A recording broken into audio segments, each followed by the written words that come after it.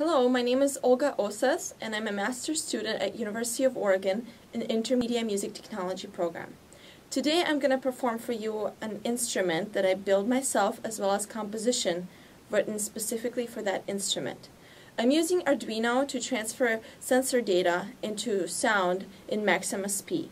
I'm using three different sensors. They are the bend flex sensor that is mounted in the ponytail, the second sensor that I'm using is the accelerometer that I have it mounted onto the hairbrush.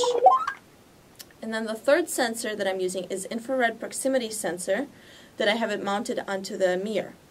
The name of this composition is called Typical Morning. And the reason for it is because every woman, when she gets ready in the morning, uses those three objects, a hairbrush, a ponytail, and a mirror. So let me perform you my instrument.